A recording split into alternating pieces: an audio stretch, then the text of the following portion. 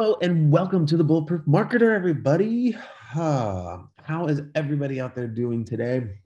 It's been an absolutely crazy week, so I hope everybody out there is ready for a nice, relaxing weekend. But not just yet. We have a packed show that you have to listen to, right? Of course, because I cultivated it all for you. It's been curated with my own little hands. Total lie. It's been done by my team. But my team knows exactly what you're looking for, and so do I.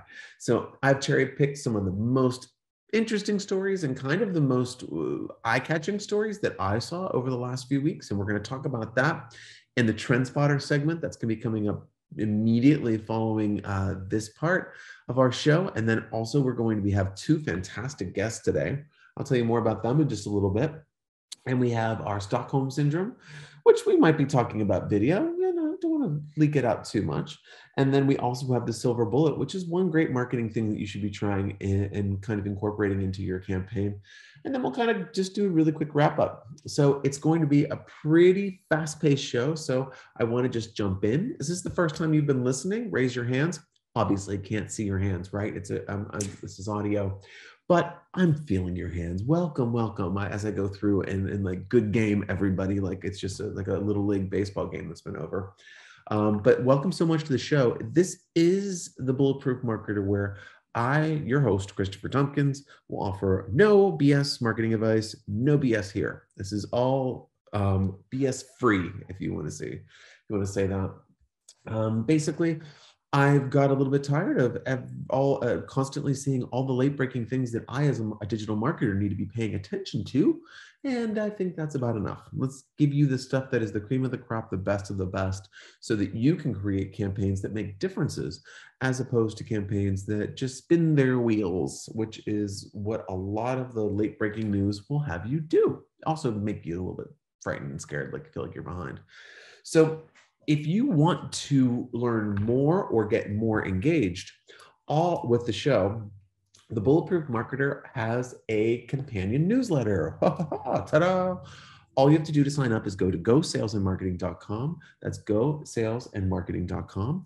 And you can sign up. There'll be a pop up there. I'll smack you right in the face. Um, if you miss it, I, I'm not being aggressive enough with my pop up, so I'm sorry but it's very aggressive and it's it's for you. So you can you can sign up very easily. You don't have to look for anything. Go to gosalesandmarketing.com and just sign up right there. Then you'll get um, our daily emails um, every single day, which are the cream of the crop in terms of the late breaking digital marketing news. So there's going to be some great things there that you can apply immediately to your life, as well as this show, which is an extension of that which is where I will choose the stories which I think are ones that you really need to pay attention to the most and kind of bring them to the forefront and just give you my take on them. So, again, if you want to go to gosalesandmarketing.com, you can sign up for the newsletter. There's lots of great information there as well. If you want to click around, we have a, um, a blog and lots of other great stuff. So, without further ado, let's jump into. Oh, let me tell you, I forgot. I can't forget about my guests. My God, they're so good today. Um, so we have some two fantastic guests. The first one we have coming up a little bit later in the show is going to be Bryan Clayton, who is from GreenPal. He has a really interesting story. He's going to tell us about how he made that transition from being a blue collar entrepreneur to a tech entrepreneur, which is a big freaking jump, right? I mean, going from one category to another is is very challenging, especially if you're going into tech from not having lots of experience in it.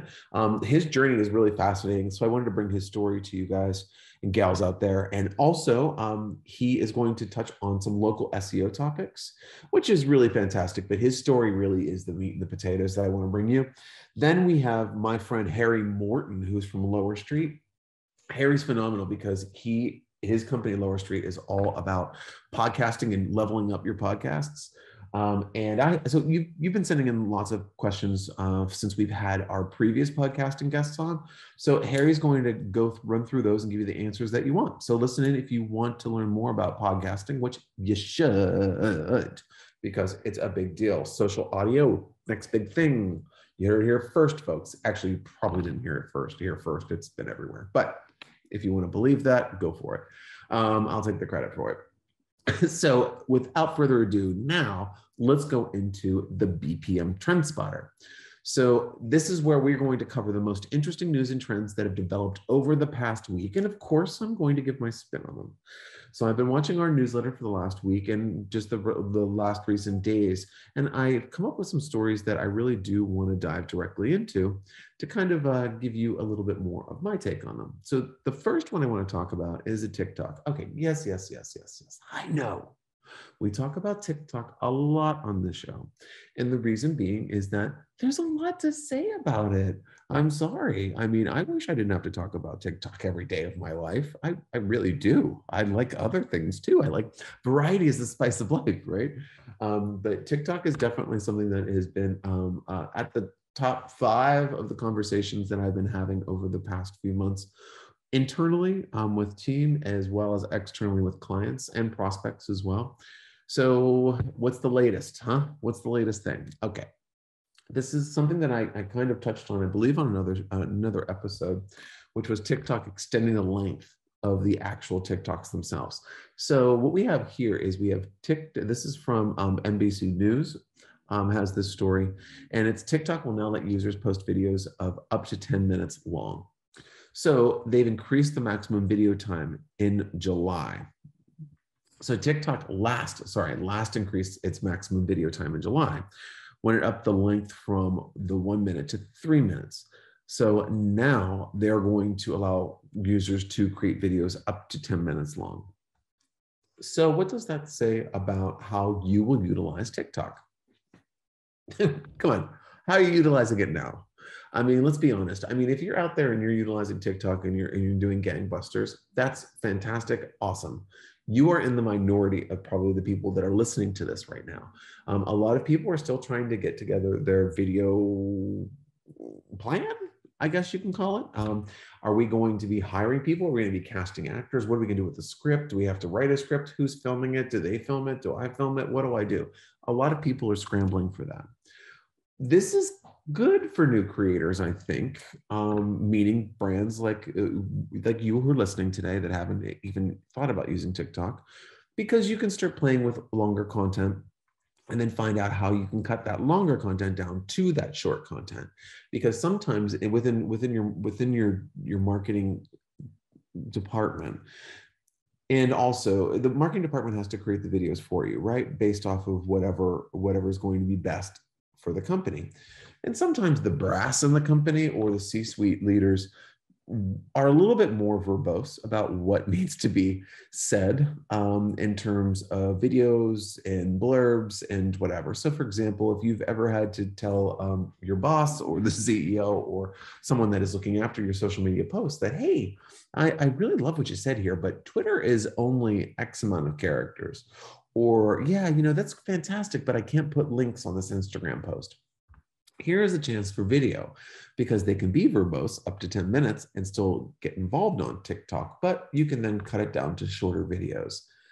Now, do I think that this is ideal? I, I don't. I don't really see um, it as being ideal right now, um, but I do see the future of it, and I do see that it, it going live and doing lives on TikTok. I think there's there's it's going to start um, evolving as as everything else does you know uh, but in in the short term i think it creates a good opportunity for people that don't understand how to create short video to create something to get on tiktok and just try to get their toehold into that ladder to start climbing.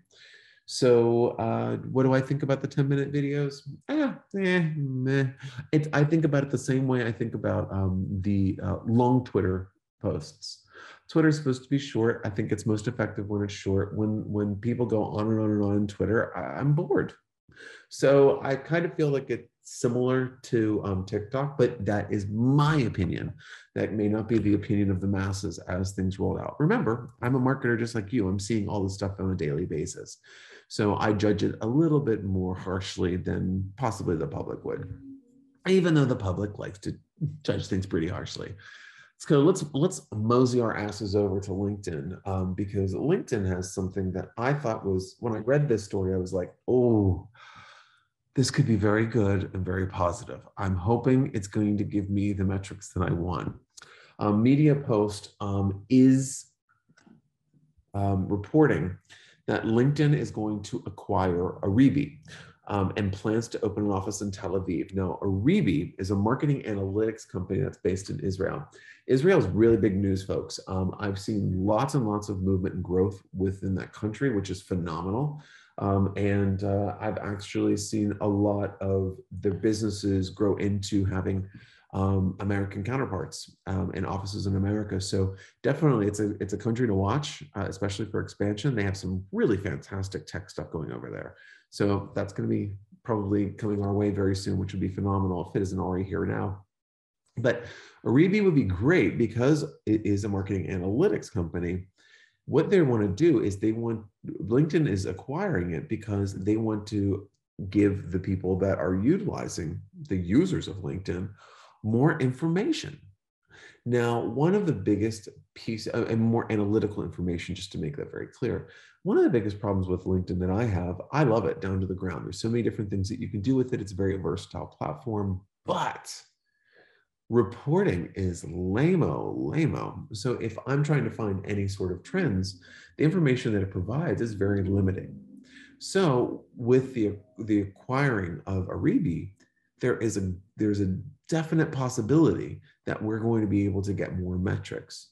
So for example, if you're pulling a report on Facebook versus TikTok versus Instagram versus YouTube versus LinkedIn, you will see LinkedIn offers 20% to 10% of the metrics that are available in all of those other platforms on its own, right? On their own, um, not combined. LinkedIn just really does not give you a lot of oomph. So making decisions can be a little challenging, to be quite frank. But you can, you know, you have to do more digging in order to find to find those. But based off of numbers, you have to do digging. You can't just show what they've given you because it's not enough. Hopefully, folks, this acquirement of a Oribi is going to change it and give us a little bit our marketers out there a little bit a little bit more to sink our teeth into and something that's going to help us um, market smarter also there's advertising implications for this there's targeting implications there's lots of really fantastic things so i'd be interesting to see what this uh, where this goes i'm glad that linkedin's finally waking up to this fact um, so i'm excited so for marketers this is definitely a plus when will this roll out? Don't ask me. I don't. I didn't acquire Oribi. LinkedIn will know. Um, fall would be my guess on that one, if not um, 2023. So one more story to kind of get things exciting um, from uh, Instagram itself. Uh, basically, what they are saying is let's kind of get rid of IGTV and focus on Reels. So that's what it looks like it's going to do. Um, so I think that what's going to what's going to happen um, because of the focus on Reels, um, IGTV ads are going to be taken out. Um, also, there's not going to be any more support for IGTV in terms of the app. So what that means is that Reels is the be all and end all. Unfortunately, if you struggle with doing short form video content, this is not going to be the, the best news for you, right? If you're really relying on IGTV to get out your long story, but I don't think a lot of people are, to be honest, and that's why they're focusing on the Reels platform. So they're really putting a lot of their weight behind that and then just kind of abandoning IGTV. So if if that is a prime cornerstone of your marketing strategy, which my guess is that it's not. It's probably something you might do from time to time. Understand that that's going away. But I mentioned earlier that TikTok is increasing its long form content up to 10 minutes. So possibly that IGTV content that you used to have could be more valuable on TikTok. Ooh, there's a, there's a solution right there. Is it like a seamless solution? No, because maybe your TikTok narrative is different than your Instagram one. But uh, yeah, what are you going to do? You know what I mean? This is this is one of those things where the the platform is evolving and it's telling you what's most important, and IGTV is not one of them. I personally don't feel like it was one of the most um, the stickiest thing in the world. I didn't really feel like it really delivered as much as it had promised, and I do feel like Reels is much more um, a much more sound investment. So there you go. So basically, TikTok's going to be longer, IGTV is going to go away, um, and LinkedIn's going to be providing possibly some metrics that could help you make um, uh, level up your LinkedIn game, which would be awesome. So, so not too bad, right? It's it's across the board, not not too uh, too negative news. Everything seems pretty damn positive this time around. So let's keep that positivity train going. Um, and after the break, I'm going to welcome our guest, our first guest, Bryan Clayton, who's going to be talking about how he went on his journey from blue collar entrepreneur to a tech entrepreneur and kind of what, what's going on with him right now. So learn more about Bryan after the break. See you in a minute. Hey, parents, are you looking to make it easy to promote your child's development? Well, I want to introduce my go to, which is Motor Planet. Motor Planet is a powerful developmental program designed to enhance your child's skills. Their software based program offers fun, motivating activities designed to challenge your child's abilities. So, we're talking fine motor skills, visual motor and perceptual skills, physical strengthening, overall conditioning, enhanced sensory processing.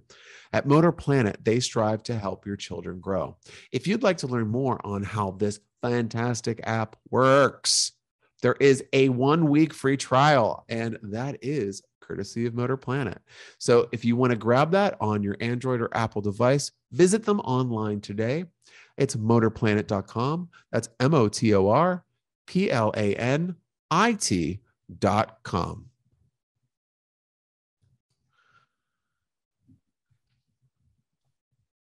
All right, folks, and welcome back. Okay, well, I hope you're rested up in that break because I am welcoming on my friend Bryan, Bryan Clayton to the uh, Bulletproof Marketer. Bryan is the CEO and co founder of GreenPal, which is an organic marketplace that connects homeowners with lawn care professionals. GreenPal has been called the Uber, the Uber for lawn care. Have you thought about that, folks? No, you're just hearing it for the first time. Well, you're hearing it from me. By Entrepreneur Magazine, it has over 200,000 active users, completing thousands of transactions per day. Holy shit. Okay, that's a lot. Um, before starting GreenPal, Bryan founded uh, Peachtree Inc., which was one of the largest landscaping companies in the state of Tennessee, growing to into over 10 million a year in annual revenue before it was acquired by Lusa Holdings in 2013. Um, so excited to have Bryan today. Bryan, welcome to the Bulletproof Marketer. Christopher, it's great to be here. Thanks for having me on your show. Yeah, no problem, man. Um, so I, I have given you um, your illustrious nutshell reading. Um, what what what else can you add to that list of something that people uh, don't know about you? Yeah, I might be one of the only guys uh, in, in in in the world that has gone from blue collar as it gets entrepreneur to tech entrepreneur. Like literally, like I had a landscaping company where we had 90 trucks going out every day, and literally at night I would work on lawnmowers and sharpen lawnmower blades, and I gave all of that up and sold that business. And after took some time off, I started a tech company and had to learn how to write software. So I'm probably the only guy that can change a transmission in a Ford F250 and can also fix a JavaScript bug on your website. It's that's a unique thing about me. So, so the unique thing about you is you're a modern day Renaissance man. Uh, so, with that said, so okay, let's, let's let's. I like this. This is a good starting point for our conversation. You know, um, obviously we want to talk about local organic SEO. I kind of buried the lead there, folks. I didn't say that at the head of the segment. Um, but uh, Bryan has some really great insights I want to share about local organic SEO, like I mentioned earlier um, in the show. Um, but you talked about going from blue collar to um, tech entrepreneur. How did you make that? I don't want to say switch. It's more of like a transition, right? How did you make that transition from blue collar to tech? Yeah, it was an evolution. Uh, it took about okay. three years, and the only thing that kept me going was our customers kept telling us they wanted our product and they wanted our product to work and our product didn't work and I, I, always tried to outsource this stuff and every time i tried to outsource it it was always a disaster so i was just like screw it i'll just learn it myself and i took every online course i could take to learn how to code my my co-founder went to a software boot camp and we learned how to how to build software we could not figure out a way to pay a dev shop to get to where we wanted to go we had to really do it ourselves and looking back it's kind of like opening a restaurant but with no chef. You know, it's kind of how silly it is. You know, if you think you're going to start a tech startup and you don't know how to write it write software, so we just had to learn it ourselves. And that's the way to go. I mean it's it, it I, I love hearing that because i've talked to other people that have done the same thing where it's kind of like you're always told to outsource right? If you want to grow outsource outsource anything that you can't do. Don't learn something that you don't know how to do. And i find lots of value there because i think that if you're able to bring that value inside of your own company you're kind of like you can manifest your own destiny as opposed to waiting for I mean, because there's nothing worse than bugging the shit out of somebody that doesn't want to talk to you. Um, especially with every time that you talk to them, it's like, "Hey, how you doing? This is broken. This is broken, and this isn't working." And I have right. five complaints that I have to deal with. Right. Um, which I'm sure kind of uh, was one of the biggest pushes for you.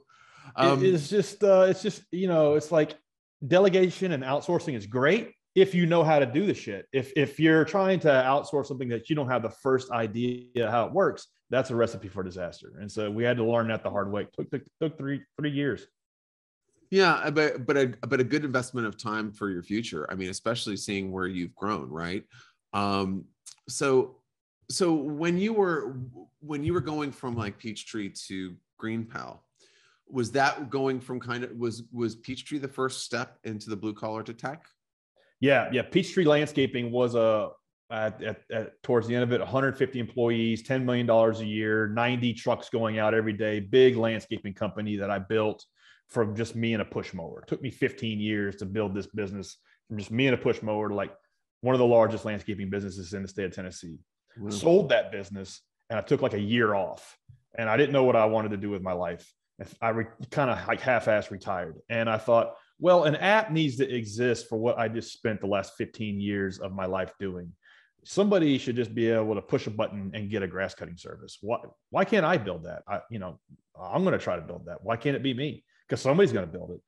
And it was kind of naivete as an asset. I didn't know what I didn't know. I didn't know how challenging it was going to be, but that was a good thing. And I recruited two co-founders and, and we, like I mentioned, paid a de- development shop to build what we thought the app should be and do. And it was a total failure, but we got a handful of customers and we learned from them and just kept grinding on it over and over and over again. And, and now we're a, a 10 year overnight success. We have over 300,000 people using the app, doing close to $30 million a year in revenue and self funded. We've self funded the business the whole way through, haven't raised any outside capital. I love that too. I'm a, I'm a big fan of that myself. I'm, that's how I built our agency. And um, I really respect that way of growing. Now, one question I have for you there is, um, of course like I, I when you're when you're trying to diverse uh, like kind of find your point of differentiation in terms of you know because at the time i'm sure when you were developing peachtree there was still angie's list there still was craigslist there's still those other services that were putting like millions of dollars behind advertising how did you get heard in that yeah. audience with all that noise it's really tough. Uh, the, to your point, the first thing is you have to be the best in the world at something. You have to have a solution to somebody's problem. Right. And and if you need a lawn mowing service, it's actually really difficult to get a good lawn mowing service. Yes, there's Angie's List, Yelp, Facebook, Craigslist. These are static repositories of names and phone numbers, and you still have to poll these people, call them, leave voicemails, negotiate price, hire them, hope they show up, and then work out the payment GreenPal was and is the only end-to-end solution where you come on as a homeowner, you pop your address in, you get quotes very quickly, you hire the person you want to work with, they come out, take care of the service, and you pay them right through the app. You go from like nothing to done in in, in minutes. And so we were focusing on one use case, one chore, one vertical, one industry, and and not worrying about anything else. And so that's how we di- diversified and like differentiate our, ourselves from our competitors and and de- and delivered a 10x experience. Now, but how do you cut through the noise? You know, how do you yeah. how do you get the word out about something when you know you're up against multi-million dollar ad budgets and and like you know everybody's tried those things and they didn't work. So then they think, well, how how is your thing going to be any better? It was just sheer focus. We just really dialed it down to okay, we're we're we're based out of Nashville, Tennessee. Let's just make it work in Nashville, Tennessee, and not even just Nashville. Like East Nashville, like one little corner of Nashville. Yeah. Let's let's let's hustle up 20 contractors and try to hustle up a few hundred homeowners and see if we can make this thing work. Because if we can make it work in this little corner of the of the world, we can make it work anywhere. And that's how we approached it. And we spent four years just in Nashville, Tennessee, expanding, figuring out how to make the product work better, faster, smoother, cheaper, more reliable, listening to all of the feedback from our customers daily, telling us everywhere we, we let them down and, and how to make it better. And then also figuring out our marketing strategy, figuring out, okay, how are we going to get more customers? And we tested every sort of digital marketing channel under the sun and eventually landed on, on local organic SEO as the thing that we could just bet the company on, so to speak and repeat throughout the country and and get good sustainable ROI based on the efforts we put into it. But at first, it was very much an exercise of faith, of faith. But that's still how we get over half of our customers. Yeah, and also I think working your ass off doesn't hurt either. And, you know, but I, I think that one of the things you touched on there that's interesting, and I want to kind of circle the conversation over to that was was you developing the power, uh, you uh, harnessing the power of local organic SEO. So, how, kind of, what what tips do you have in that in that like for someone that else that else is really trying to target uh, maybe a hyper local audience, um, and they're really struggling to connect with them? What what tips do you have uh, for those people out there? You can compete in in local SEO just through sheer authenticity and hustle. So mm-hmm. the reality is most most of the of the of the search results for local queries are the huge big boys that have scaled out and, and stamped out a million landing pages and they're ranking at a local yeah. level. But you can actually compete against those guys through better content, more authentic content, uh, more curated content at, at a local level because you know the local space better than they do. So, so for example, in our case, you know, uh, let's say we're trying to compete for lawn mowing services in Indianapolis, uh, Indiana you know, Angie's List, Home Advisor, all of these guys have just like pulled together thousands of names and they and Yelp and they spit it back out and hope it ranks.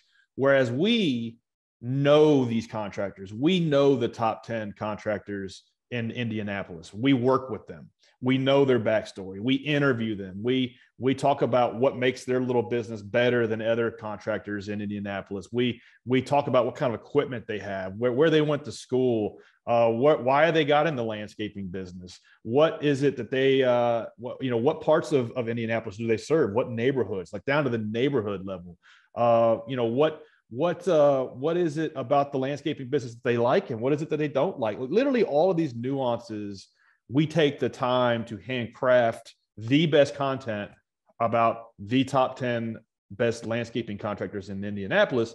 And then we surface that material to Google. People like that content better. It solves their problem better. And therefore, that's how we outcompete some of the big guys. And so if you're you're really willing to take like like do think do do the hard things, do the things that don't scale, and figure out a way to make it move a little quicker and and and pick, pick up the velocity on it. That's how you approach it Whereas most people get, you know, they get uh, discouraged with with search because they try to compete and play the same game that that guys that have been around 20 years are playing, and you're not playing that game. You got you got to approach it differently. Absolutely. And I, and I think that it's it, one of the things that you said that I just like to highlight is that you said that you know you don't always have to there is meaning in some of the things that you do that do not scale your company. There's meaning in, in those in those areas. And i think those pockets are what really give credibility to your mission credibility to your business. And i think people um, I, I, see it all the time right? Because yep. i'm working with um, i'm working with uh, an integrated digital marketing campaigns for clients from lots of different industries and you try to let them know that you know this this this is meaningful but this is not going to make you money Right. And they were like, well, take that out. We, we, yeah. return. And yeah. I'm just like, sweetie, no, that's great. you know, like, I mean, we gotta like try to get something else going on here, but, um, okay. So, um, interesting. Okay. So one other thing I wanted to kind of ask you is in, in getting these, these top 10 guys or gals and uh, landscapers, let's say that's, that's safer. So top 10 landscapers, how are you choosing them from within your app? Like what is qualifying these individuals uh, that that uh, to make them top 10? Yeah, in the early days, it was hand-to-hand combat. I, I knew the first personally knew the first 1,000 contractors that used our platform. They all had my cell mm. number, and so it was very much hand outreach calling them off of Craigslist, calling them off of Facebook, Yelp, whatever, and pitching them on the idea of using GreenPal. Now we have over 32,000 lawn care services that use the app to run their business. And so now it's it's much more an automated uh, way that we understand who's good, who's not, who's reliable, who's not. And so we we because we are in the middle of the transaction, we measure how often do they show up on time. If they're supposed to be there on Thursday, do they show up on Thursday and complete the job on Thursday? And if they do, they're scored positively. If they don't, they're scored negatively. And that that's a very simple thing that we understand that nobody else does. You know how reliable these contractors are. Nobody else. Yelp doesn't understand. Facebook doesn't know. Craigslist doesn't know how reliable these contractors are. We do because we score that.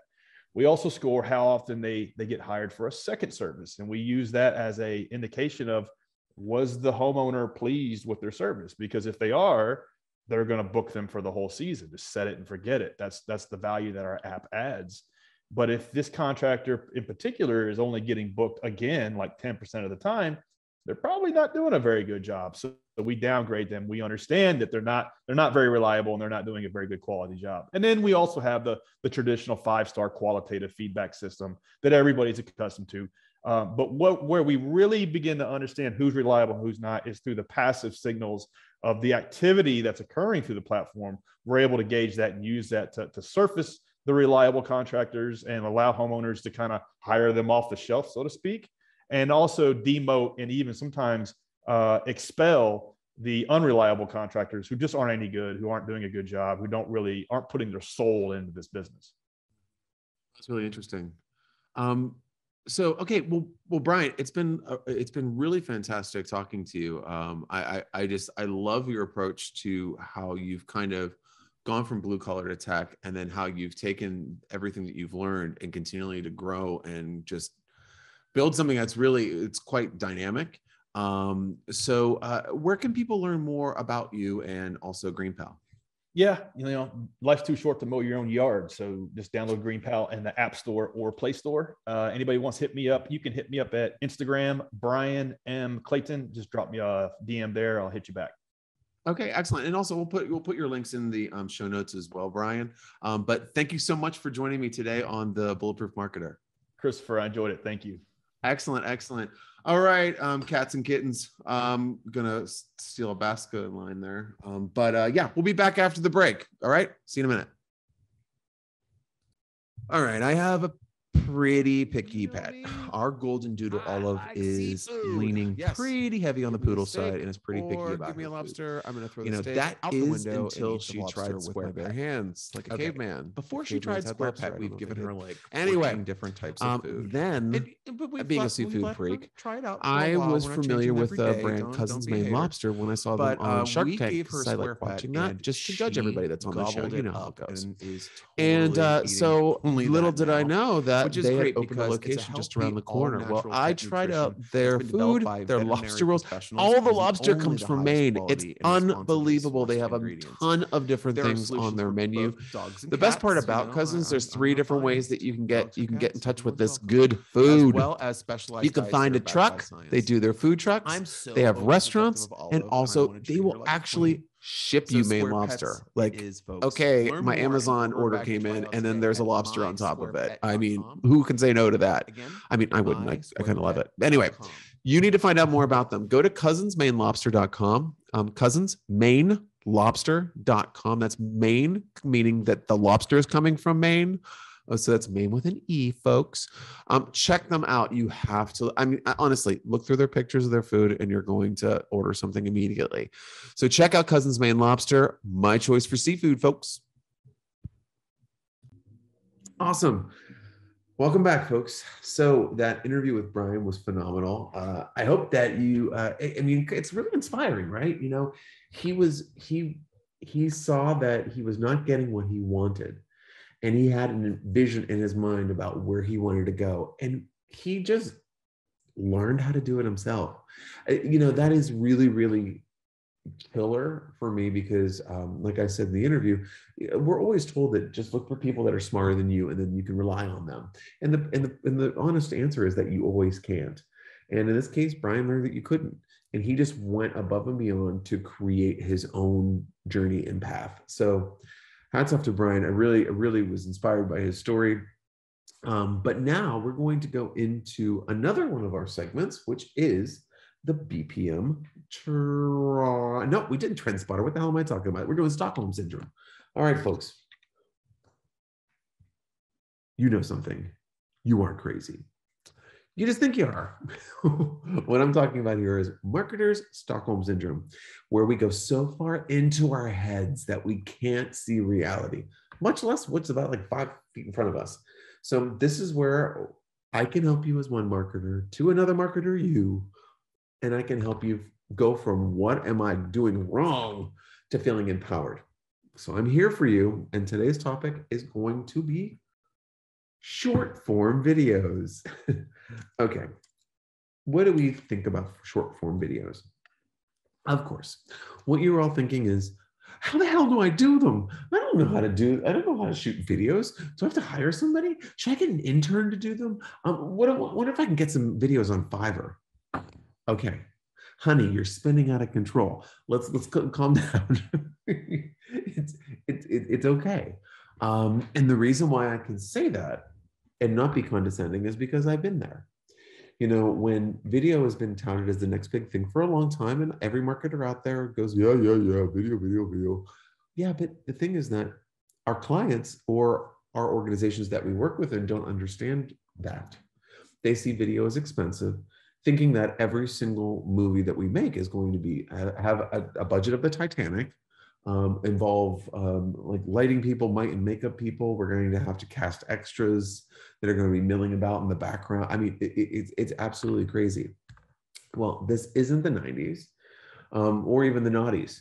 This is the now. And now video is very, very easy to actually do yourself and we're not we're not asking for these really slick beautiful videos we're asking for real honest video now, of course, you can have your thumb. You have someone that um, holds things that like uh, with a shaky with a shaky hand while their fingers over the um, the the camera lens. But you can do things very sophisticated um, in a very sophisticated manner, rather, with equipment that you have, such as a phone and a natural light source. It, there's there's things that you can do that are very very good. Um, you can do interviews, you can do um, testimonials, you can do um, just off the cuff TikTok videos. But the thing is this it's thinking about what you actually need to execute something like this. Now, user generated content is something that I talk about a lot. And, you know, people get confused about it, thinking that, okay, we have to pay these people to do that. You can, or maybe some people just love your product or service enough that they will do something un, un, un, unrewarded, I guess and there there is a lot of value to that and having other people help you with your creative. But why don't you get a longer video that you have that you're comfortable with and maybe chop it down to a reels length or a tiktok length or something of that sort? Because that's going to provide you some opportunities to see how you can edit video that makes sense. And it will make sense and it will kind of benefit your audience. The thing is that I want you all to know that there is no golden ticket in terms of what short form video is and how you will get there. Every company has its own journey to go on because it's it's less of I could say get your put an hour aside a day um, pick a couple subject matters or things to talk about and talk directly to camera and film yourself. And then um, when you put it up on um, tiktok or reels edit it to have some voiceover some music or some whatever stickers or pull whatever and add it in there. Um, but then you also have to appease your clients you have to appease the organization. So i can't do that. You have to build something that works for your clients so you can pitch it to them and also for your actual organization. So i think it's really taking an, a content that you have already and seeing how you can cut it down yourself using like any editing program that you have. Uh, so anything that's very basic and find a basic editor online and just kind of tool around with it a little bit the thing is that you mm. need to get your feet wet right now. You don't necessarily have to go and do a video course. That's not necessarily what you have to do. I would suggest going to see who your direct competitors are and seeing what they're doing with video. If they're not doing anything, you are in the same boat as them. But I'm not to, not to say that you wake up on Monday morning and you get an alert that one of your competitors is now on TikTok and posting 40 videos. And if you think that TikTok is going to be for children and dancing and, and humor for its entire existence. You're sadly mistaken. This is where it starts, folks. It's going to evolve and there's going to be opportunities there. So that's where you need to pay attention to as well. It's it's kind of, you know, you don't want to be a dinosaur when it comes to video. You need to be current. Now, I'm not saying if you're a law firm and you are an elder law firm, which is very serious, um, you're doing funny dance videos all the time. I don't think that's necessarily what it needs to break the algorithm. You just need to have good content that your audience is going to enjoy and, it, and to create a community off the back of that. So I say all of this to let you know that you are not alone. Video content is a struggle for all marketers. There's no marketers out there like, yeah, it's easy. oh, yeah. And if they do say that, they have one lane or one road of that journey completed and down. The rest of it's a, a, mystery to them. So just know that you need to work that muscle and you need to get better at it, but not everyone's great at it. It takes time. I didn't just wake up one day and say, okay, how am I going to create video out of nothing? I had to work at it. You had to figure out things. I had to look at workarounds and then I had to constantly evolve as those workarounds changed. So you have to be the same. You have to be malleable, but don't get down on yourself that video is something that you can't do. You can do it. You just need enough room and, oxygen in the room for you to breathe and have that moment to actually discover how to do it the best. Again, look for other people to influence you and look for other people to give you ideas on what is best. And then kind of copy them, try them, see see if it works for you. Does it feel natural? Does it work? You know what I mean? Give it like before I would pitch anything to a boss, I would give him exactly some samples of what I would want to have on the channel and how I envision doing it.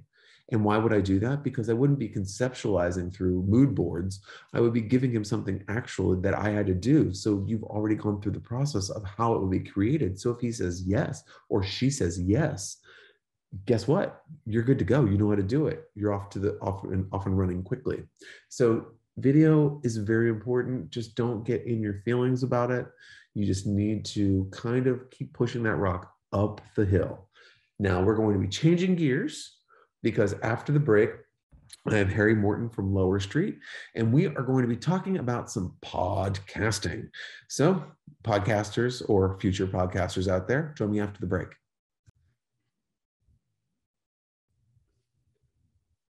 Okay, so skincare is definitely something that's really important to me. But at the same time, I don't have a lot of time. So I really want the most bang for my buck and something that is very, very fast and efficient. And that's when I found Truly Clear. Now, when I found Truly Clear, it's a really great product that actually helps acne. So if you have um, if you have a child that has acne or you have adult acne, whatever, just want clean face, I just love the product because why? Because it's it's smarter, faster, and better. It calms your skin, it stops acne, and it heals your skin.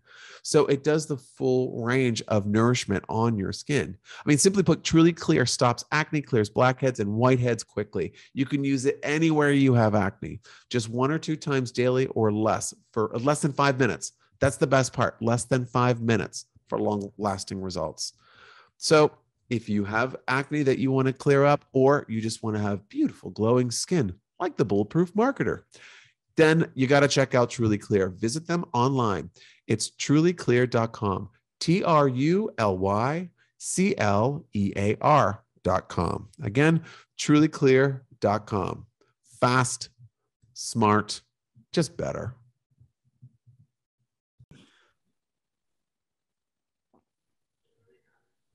Okay, folks, and we're back. Uh, thanks so much for joining us again after the break. I have a really fantastic guest for you because you would, I don't know if you'd be shocked or not, but like so many different people in our audience are are tweeting me and dropping it, slipping into my DMs deep and t- asking me about podcasting. Uh, and I wanted to find another expert for you because we've brought some people on in the past. And um, Harry Morton from Lower Street is someone that I was really excited to bring you um, just to ask um, ask him some questions to kind of pick his brain as to um, kind of how you can get more engaged with podcasting. Um, just so you know, just a little bit about um, Harry and Lower Street. Harry is the founder and head podcast strategy at Lower Street. Um, and they are a full service podcast production agency that creates amazing shows for brands that want great, not good, which I love. Uh, they serve companies of all sizes across lots of different industries, and they help them developing podcasts that are unique to each company's target audience, which sounds spot on for what we're going to be talking about today. So, um, Harry, uh, welcome. Thanks for joining us on the Bulletproof Marketer. Thanks so much for having me. Pleasure. Yeah, no, no, no problem at all. So, Harry, what else can you say? What else? What else do people need to know about you? After my illustrious intro for you. You did a fantastic job. Thank you. Far too generous, honestly. Uh, no, we produce um, exactly as you mentioned podcasts of, of, of all kinds for for brands from um, small uh, agencies all the way up to large enterprise companies. Um, and I think what we're really focused on is is in the sea of podcasts that is appearing before us. You know, as everyone is launching a podcast over the last two years. Um, how are brands making something that cuts through that noise? And i think that's what we're really focused on. And and, and the thing that we drill into that i think helps us to to to to allow podcasts to stand apart is really driving into narrative and storytelling and trying to do more because uh, i think a lot of what folks lean on is just straightforward interview based shows which are awesome. But i think that um, there's a lot of opportunity for us to go one step further and try and create something uh, a little a little deeper that will um, you know definitely allow us to to sort of stand out from the from the crowd. I completely agree with that. Um, I, I really do think that the narrative pulls people in. Mm. Um, straight interviews are, are, are great. I mean, we're having one now, but the, yeah. it's kind of uh, what else goes around that? Um, what other what other things need to what other buttons need to be pushed? Now, when it when it came to podcasting, Harry, I'm interested. Kind of what, how did you get involved? Kind of what, how did it, how did you come to podcasting? Absolutely. Well, so my background's in audio post production. So I worked um, when I first graduated in in doing sort of um, TV ad campaigns with with large national international brands. Um, but then from various uh, career moves as we do, I worked in sales for many years, um, and during that period was very keen to sort of start my own thing, um, and was spent all of that time listening to podcasts to educate myself on how to make that move from sales into sort of business um, and entrepreneurship. And uh, and the penny dropped probably a little slower than it should have done. Um, but uh, hey, why not? You know, I'm I'm deeply involved in podcasting. I've got a background in audio and the business, and so sort of brought them full circle to to start Lower Street. We did that five years ago or six years ago now, and um, uh, and we've been growing pretty rapidly because we're in a space where there's just there's a lot of interest. I think more and more brands are looking for that sort of authentic connection with audiences, the ability to tell stories rather than just um, you know put out content for the sake of content. I think folks want to connect with with humans um, and hear real stories, and so um, yeah, it's been an exciting space and it's developing it all the time and I think that's kind of the, I mean I can I can kind of mirror that trend in, in what I'm seeing in terms of people that um, my prospects or my clients that are coming to me and they're exploring new options because they're looking for as as everybody kind of focuses on more authentic communication and more authentic interaction with brands. Um, this podcasting is one of the most fabulous ways I think to really get your voice and your emotion and it, and not emotion like I'm going to make you cry, I'm going to make you scream, I'm going to make you horrified, but just to kind of evoke any sort of relationship and kind of poke and prod. And um, and it's also a fantastic additional channel for content that you're already produce, um, producing. So it's um, it's a natural extension, and I think that um, I've been really, really touting it as the next big thing for a while. So I love when I have I can just shut up and go, ah, I was right. Okay, excellent. Everyone can reap the benefits now, um, and let's move on to the next thing, which is the metaverse. We won't talk about that um, because no one knows what the hell it is. Anyway, so uh, I digress. I'm going to ask some questions that I think are frequently asked um, from um, I want to say peers, but marketing peers um, when it comes to a podcast. Obviously, why should you start a podcast? I think if you're if we're if we're listening right now, we know it's important. So now that we we've decided to do it, now we're thinking about time and expense, right? That's the next big thing. That's the next big question. How often should you podcast? Is there a magic number? Absolutely. I think this is a really important question and one that um, I get asked a lot, but I think a lot of people come with preconceptions that uh, that maybe um, we can try and steer them away from those pitfalls. Um, so what we like to say in podcasting a lot is that it really rewards consistency. It's so important to have a regular touch point with your audience in order to gain some momentum, build that audience, and get the engagement you're looking for. Um, because podcasting is not a viral medium. It's very much driven by word of mouth. So people literally, the most common way they discover shows is because they were referred to it by a friend or a, a colleague, family member, something like that. So what that means is that we really want to sort of rely on on regularity to to sort of create a habit in our listeners um, uh, listening, so that we can kind of reach them on a regular basis and grow that audience. Um, what we typically very commonly hear from brands is that you know our ceo is going to be the host of this show and they're far too busy we can't do that every week. We want to go monthly. And i totally understand that you know the c suite whoever's involved anyone within the organization marketers are the busiest people I've, i know.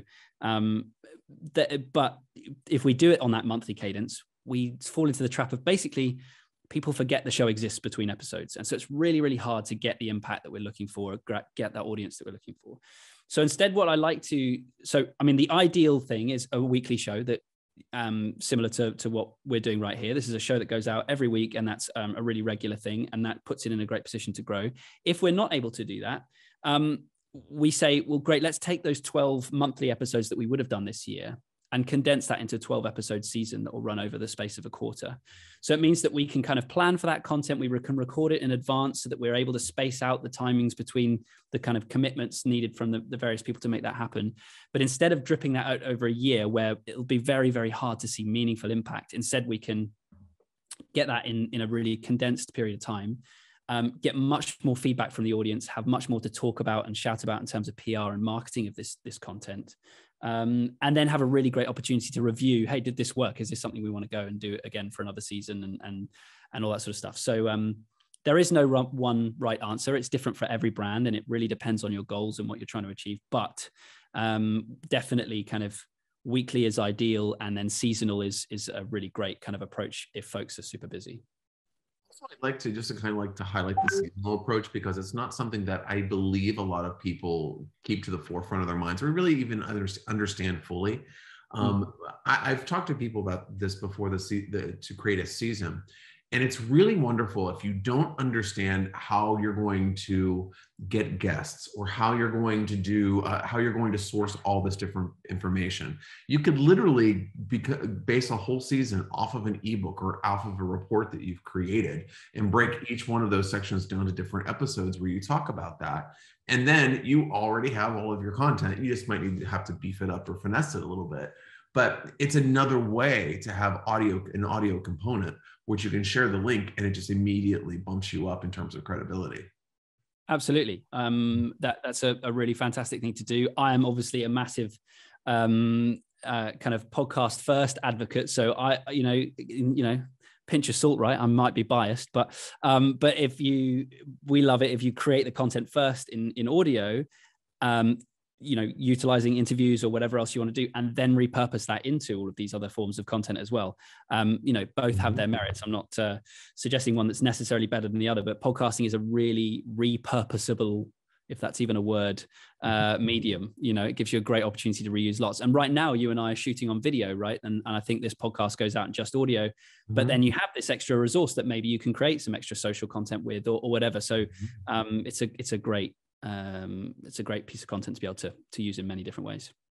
Okay, so so now that we talked about kind of like the consistency that we should be kind of shooting for, um, how long? What is like what is an optimal length for sure. a podcast? Well, one of the things that uh, one of the lines that I love um, is that a, a, a podcast should be as long as it needs to be and not a minute longer. Um, which basically means I think it's very tempting to sort of have long form conversations and allow those to go on um, for as long as they go on for. You know, I'm thinking of Joe Rogan, for example, where you might be sitting there for two and a half hours listening to an interview with Elon Musk or whoever it might be. Um, that's wonderful and it has its place.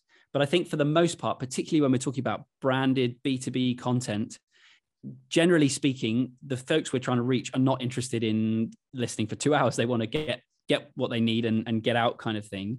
Um, and so, yeah, again, it's kind of an annoying answer in that it so depends, right? What's the brand? What's the what are the goals? Who are we trying to reach? All these kind of things will impact decisions like this. But what I would say is that wherever possible, we want to lean on making it as tight and concise as possible rather than letting it kind of ramble. Um, often the the sort of sweet spot that we arrive at is somewhere between 25 and 40 minutes worth of content, but really depends on like what style of show we're trying to produce. You know, similarly, we work on some shows that are, you know, five minute daily podcasts and then other ones that are sort of, you know, much more in depth, longer form things. So it, it, it very much um, depends.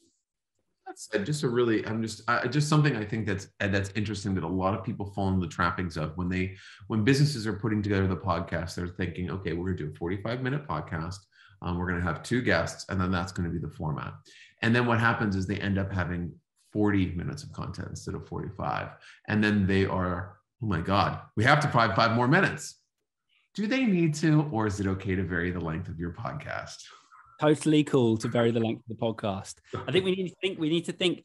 There's there's a step. Like I said, consistency is rewarded, right? So we want to right. know as a listener to a show, what am I signing up for? If I click the subscribe button, what am I going to get in the future? So we don't want to have a situation where it's going to be five minutes today and two hours the next, because then they're like, well, how do I fit this into my life? Like I don't know what to expect. But if one day it's 30 minutes and the next day it's 45, like that's, you know, that's a, a, a, not too crazy assumption that that might fit into the same sort of part of your day that you would spend listening to that content. Um, so I think you know within reason you have a per, you know definitely some scope to to kind of mix things up. Yeah, I just like to like to throw like to pepper in things like that because it, it, it's amazing how someone that's never done a podcast becomes extremely structured and very rigid very quickly when they get mm-hmm. into it. And I do feel like that rigidity affects the, the quality of the content. Um, so how do you grow? Okay, this is a great question for you, right? Because this is right in your wheelhouse. How do you grow your podcast audience? Absolutely. Super common question. I guess so. I've definitely got some strategies. I'm going to share those with you. Uh, what I want to preface this with, though, is that so often brands come to me and say, and, and, and we talk about what their KPIs are, what, how are we going to gauge the success of this podcast? And often they lean into the number of people that have listened. We want X number of thousands of listens to this podcast this season. And that's great. Not saying that that's irrelevant um, because it is definitely relevant. However, the raw number of listens isn't necessarily indicative of the value that the podcast is providing. I think where podcasting really shines is the fact that the engagement level we see is so much higher than other mediums. So um, it's really not com- uncommon for podcasts that we produce to get 85, 90% completion rates of that entire piece of content um, as an average, as compared to what we might see on like video on social, for example, we might be lucky to get five, 10% at a push. Right. So the, the, the engagement rate is so, so much more important um, because again, as I said, it's not super viral. So the num the raw number of people listening is going to be lower than we're going to see on a TikTok campaign or whatever. But of the number of people that listened on TikTok, the people that listened on podcasts genuinely care and are truly engaged. So I really encourage folks to think about what does that engagement rate look like first. And if we nail that, by the way, if we get to the 85, 90% mark, the content's going to grow itself because if you're listening to that and you're you care enough to listen through to the entire thing, you will naturally share that. Um, and so it does become sort of shareable content. Okay. However, that being said, we still want more people listening to our show. Totally reasonable um, kind of desire to have. Um, so I think the one of the main biggest takeaways, uh, we're talking about kind of 80 20 principles um, of like, you know, 80 the, the 20% of efforts that make 80% of the difference, um, is that we want to stay in channel. So, as I said, it's not a viral medium. Posting content on social is a really important thing to do. But to get someone to move from scrolling casually through their Instagram feed, hitting the like button and sharing something, to then making the leap into their podcast app and spending an hour's worth of time listening to a piece of content is a very hard journey to make. So while it's really important that we do put stuff out on social about our podcast, engage with the community, let them know that this thing exists, so it's on their mind. Um, it's not where we're going to find a source, the main source of our of our listenership, at least not for ninety percent of brands. Um, where they are going to be ready to listen and engage with a long form piece of content is when they're already listening to another podcast. So there's a bunch of people, a bunch of ways that we can reach people um, in that mode. The first one is just on other podcasts. So, for example, you and I having this conversation, if I was to tomorrow to start up another marketing podcast, I could say, hey, you know, I'm really enjoying this conversation. If you, the listener, are enjoying this, come and check out my show because we deal with X, Y, and Z topic, and it's really relevant to this audience for that reason. Um, you have that engaged audience they already they're listening to you they know like and trust you now and they will come and, and sort of join you over on the new podcast um, so uh, and then the other version of that is the sort of pay to play model so i could go out and sponsor this podcast and say hey could you please shout out my my show on yours um, and uh, and kind of advertise that uh, the podcast that way. Um, there are also cross promotion partnerships. So if I have my show and you have yours, we can sort of say, hey, let's let's share recommendations to our audiences. So sharing audiences is super important. And by the way, it's not a zero sum game. Folks listen to multiple podcasts every week, and so by you know sharing with your audience another show they should listen to, you're certainly not losing one of yourselves. Um, so that's that. Then then we'll advertise inside the podcast apps themselves, and there are a bunch of different ways we can do that. There are some that allow you to pay for um, kind of uh, visibility on on their on their apps um, to put your show in front of uh, relevant audiences. And then with in the case of Apple and Spotify, um, you want to work closely with the editorial teams on those platforms who control the content that is surfaced on the main screens of the apps. Mm-hmm. Um, uh, and so, you know, that's something that we do a lot um, at Lower Street is kind of pitch our clients' shows to Apple. Hey, we've got this story coming up on one of our podcasts. We think it's really relevant for this reason. We'd love it if you could put it on the home screen, and that gets an enormous, you know, uplift in in traffic that way. Mm. Um, and similarly, in some of the smaller apps like Castbox and Overcast and places like that, you can pay for that access. Right. Um, and uh, and then there are a, a, few other channels that we use like you know programmatic advertising is, is another one with some um, specific partnerships but uh, but i think for most part for the everyday podcaster i think cross promotions partnerships with other podcasters going out and being a guest on other podcasts to promote your show um, and then working with those editorial teams those are like the biggest levers um, for most shows there's obviously a million things that we can be doing but i think those are some of the biggest Okay. Well, I have one more one more question for you before you go, Harry. Um, you know, if you could give one piece of advice to someone who is podcasting currently, mm. um, what would it be to kind of enhance their game or level themselves up? Yeah, I think what I would say is this is such an easy thing to say, but not necessarily an easy thing to do, is to just have a laser focus on your listener. I think so many times the pitfall that we see brands making in particular is they they come up with a concept for a show. We've got this great idea. We're going to interview these folks about this thing, and it's going to be an amazing show. They then find themselves in a position where they're having to then go out into the world and find listeners for this thing that they've created.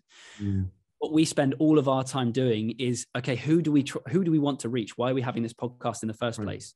Who are they and what do they want? And let's make that because right now there's no shortage of shows for them to listen to. We need to make sure that it's something that they genuinely want. So even if you have a podcast that's already out there, I would think really, really carefully around who you're trying to reach, what other shows are in their periphery that they could be listening to over yours, and how does yours truly deliver on the things that they need, and how is it different and unique? Um, and so I think there are a million growth hacks we can think of with podcasting, growing that audience, but really it comes down to the quality and the relevance of your content. So just taking a load of time to kind of think about about that. Yeah, and, and, I mean, I, I, this is what I'm telling my clients every freaking day um, in terms of their content. You know, it's kind of you can come up, I can come up with the perfect target audience for you, but if you're just going to shove your old, stale, dusty marketing message down their throats, they're going to choke on it. So you you know understand what they're doing, understand. And the best part is is that a lot of times with what you were saying, like um, featuring yourself in other podcasts and looking for other opportunities. Um, I, I will be asked the question, well, how do I know what shows are right for me? You don't know what people are listening to in your audience. I mean, especially if you're a service-based or a specific um, uh, in a niche company, um, it, it is kind of easy to see where your audience is going to be. Um, but I do think that I agree with you 100%, Harry. I think it's really just making sure that your message is really laser focused to your audience um, and not necessarily you're pandering to them, but you're you're cultivating information that they're going to want to engage with, um, because you want them to listen to your full show. you don't want them to listen to five minutes and go, "I'm not getting me the hell out of here." That's so the um, point. That's so the point. You want to make something that they listen to the first five minutes, they go, "Wow, this is worth the next forty minutes of my life," you know, um, mm. and you're not going to do that with something that you kind of that, that you think is interesting. You need to make sure that uh, this is what these folks care about. Absolutely, precisely. Harry, thank you so much for joining us on the Bulletproof Marketer. Where can people learn more about yourself on Lower Street? Thanks so much. It's been uh, really fun. Um, uh, I'm I hang out on Twitter a lot. I'm at Podcast Harry on Twitter, uh, and the work that we do you can find at lowerstreet.co. Um, would love to chat with anyone that wants to nerd out about podcasting. Yeah, and uh, as with all of our guests, we have all of the information and links um, to their profiles in the bio in the show notes. So check those out and connect with Harry and Lower Street. Harry, again, thanks so much for joining us today on the Bulletproof Marketer. Thank you. All right, folks, uh, we are going to be back after the break and we're going to be talking about Stockholm Syndrome and why you, as marketers, are suffering from it. Is it something new? It's a segment every week, folks. Get used to it. Okay, I'll see you after the break. All right, I have a pretty picky pet. Our golden doodle olive is leaning pretty heavy on the poodle side and is pretty picky about her food. You know, that is until she tried Square Pet. Okay, before she tried Square Pet, we've given her like 14 different types of food. And but we've let we've let her try it out for a while. We're not changing every day. Don't don't be a hater. But uh, we gave her a Square Pet and she gobbled it up and is totally eating only that now, which is great because it's a healthy, all natural pet nutrition that's been developed by veterinary professionals using only the highest quality and responsibly sourced ingredients there are solutions for both dogs and cats. You know, I, I'm I'm not biased. Dogs or cats, everyone's welcome, as well as specialized diets that are backed by science. I'm so overprotective of Olive, and I want to treat her like a queen. So, Square Pets, it is, folks. Learn more and order a bag to try out today at mysquarepet.com. Again, mysquarepet.com. Woof.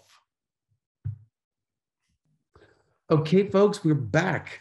Uh, great talk with Harry. Um, you know, if you haven't been interested in podcasting before, you know, every time that we talk about it here on the show, even I get a little bit more excited about, um, you know, kind of finding new ways of making our own show more interesting and more engaging and and um and kind of going out and being guests on other uh, other shows. So thanks again to Harry. That was a that was a great interview. So this leads us to um, one of my favorite segments and one of the shortest segments of the show, which everyone will love uh, which is the silver bullet. So each week I want to dive into a topic that is a silver bullet or it's a secret technique to reach and attain your marketing goal goals. So this week, oh, this is going to be a shocker. This is going to be controversial. Um, the uh, silver bullet for this week, it's podcasting. we just talked to Harry about this, and there is nothing that rings more true than having social audio incorporated into your overall strategy. Why? Am I going to get rich off of podcasting?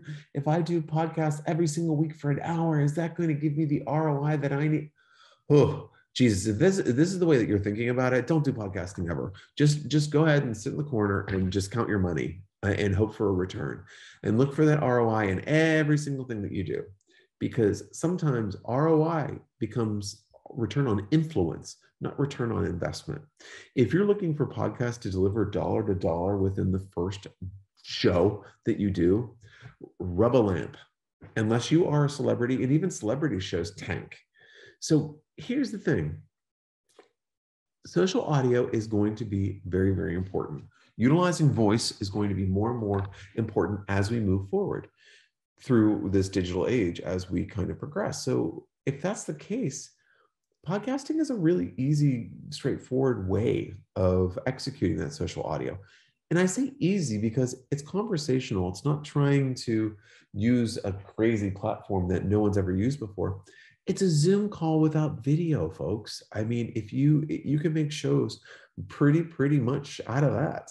So it can be very straightforward and very, very, uh, it's a great way for you to extend your own content. But listen, social audio is going to be really important, and podcast is a great first step to throw your hat in the ring and get prepared for that future. All right. So look into it. It's not painful to start it. Just try it out. I mean, even if you have a show that you don't promote, just to see if you kind of like the sound of your own voice or what you would want to say or change things up. Just try it out a little bit because uh, you know it's really important to be positioning yourself as an expert and also looking credible and audio really helps you engage in a really rich way much like video does. Video really engages people. Audio does the same thing. So please do not sleep on that. Um, your silver bullet is podcasting. All right folks. And after the break we're going to do a quick little wrap up. See you in a minute. So when any of my clients ask me, "Hey, do you guys do PR?" I always say, "No, I hate it. I dislike the media and dealing with them." Well, that's pretty true. So, uh, obviously, I don't want to leave anybody high and dry. So, the number one person that I recommend is my good friend, April Margulies. April is the CEO and founder of Trust Relations, a national PR firm that totally kicks ass. Why do I know that they kick ass? Because they've gotten me into many, many national magazines and they've helped many of the referrals that I've sent over to them get some really phenomenal national acclaim. And they could do the same thing for you. So if you are looking for some PR coverage for your company, your brand, or just yourself as a thought leader, I really suggest that you go and visit them. You can go to trustrelations.agency. Again, that's trustrelations.agency. Ask for April tell them the Bulletproof Marketer sent you. All right, all right, all right. We're back. So it is time for us to do our recap. So, what a show it was. We learned that uh, TikTok is going to 10 minutes, and uh, that's going to be exciting. IGTV is hitting the road, Jack Big style. So, what are you going to do with your long form content? Trot your happy ass over to TikTok and throw it up there. Uh, welcoming bit longer content. Why not? Let's migrate that stuff. And then we have LinkedIn that's going to be um, maybe providing some more analytics. Thanks, LinkedIn. Uh, thanks for showing up. Uh, and then we had our fantastic guests, uh, Bryan and Harry. Some really great insights, um, entrepreneurial insights from Bryan, and some podcasting insights from Harry. We went through, hey, don't go crazy, folks. Video is a problem for everyone, all marketers. We're all trying our best to get kind of finding the best way to get that done. And also, your silver bullet was podcasting. Getting into that social audio game is super duper important. I have to say, folks, I had a great time today on the show. Um, I hope you learned something. You know, it, this is all about uh, you getting some information that you can utilize and hopefully having fun along the way, right? So check us out, uh, gosalesandmarketing.com. Go to our website. You can sign up for our newsletter there. Um, join the brigade of the bulletproof marketers. We're all out there for no bullshit marketing advice. Join up, folks. I'll give you something new every single day that's curated straight and ripped from the headlines so you know exactly what's going on. And hey, even better, makes you sound smart in a meeting. Grab a story and throw it out at the water cooler. Always works. Anyway, folks, I got to run. Be kind, be authentic, and be bulletproof. Until next time.